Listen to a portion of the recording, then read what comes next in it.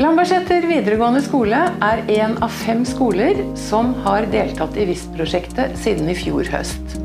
Vil si at fire norsklærere og fire matematikklærere har blitt videofilmet, og i etterkant så har de fått veiledning.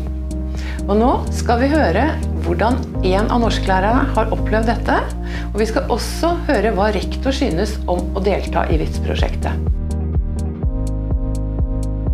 Har vært eh, så mange år i skolen som jeg har vært, 21 år, eh, så trenger man at det, det skjer noen nye ting. Man trenger å utvikle seg, man trenger å være med på noe som kan utfordre en litt.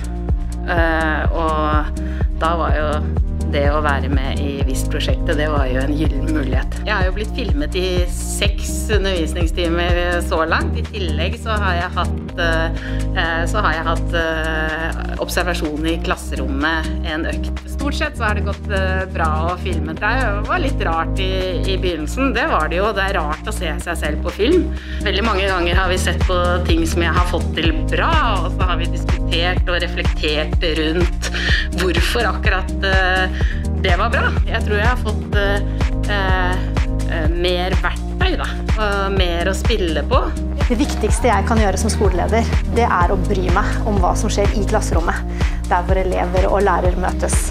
Og kvaliteten på undervisningen. Visst har vært en fantastisk mulighet for de lærerne som er direkte involvert. Som blir filmet, og som får veiledning.